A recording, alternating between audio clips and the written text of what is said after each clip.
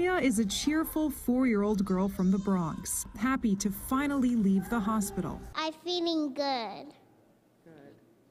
And everybody helped me here. Last month, her family first noticed she was limping. It started getting progressively worse across the days, and on January 5th, um, she started collapsing. They immediately took her to an emergency room in the Bronx. They're trying to do a spinal tap, they're trying to do MRIs, they're trying to do all this on this poor four year old whose body is just can't take it.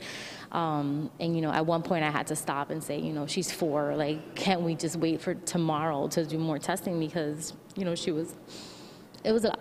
It was a lot. Doctors discovered Miller Fisher syndrome, a variant of Guillain Barre and a rare nerve disease. There's some sort of preceding infection. Um, it could be lots of different kinds of infections that trigger this uh, inflammatory response against what we call the peripheral nerves. Doctors believe COVID 19 was the trigger because she tested positive at the hospital. She was treated with antibodies for the nerve disease, but that wasn't the last stop.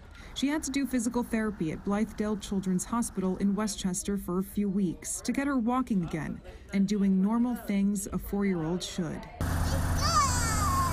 Being away from home for two months, Mya is looking forward to one thing, Play with my little sister.